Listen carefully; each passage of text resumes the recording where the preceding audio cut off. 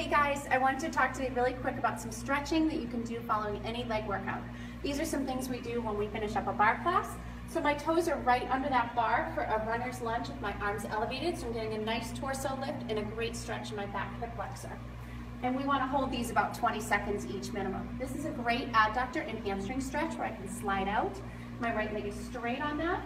If I want to turn my toe over and reach down to my bottom leg, and stretch through the back of my left hamstring. This is also another great stretch. Another one we do for our glutes, and this is gonna stretch my right glute, is if I sit down and do a single leg crossover, and everything is assisted here, holding at the bar. And the last one, if it's quads and hip flexor, would be dancer pose. And you can do this with either leg, coming up and in, I'm using the bar for support, and stretching right through the top of the thigh.